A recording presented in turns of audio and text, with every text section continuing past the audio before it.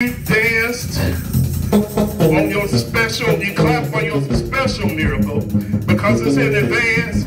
Now just give everybody a peek. If God really sent your special miracle,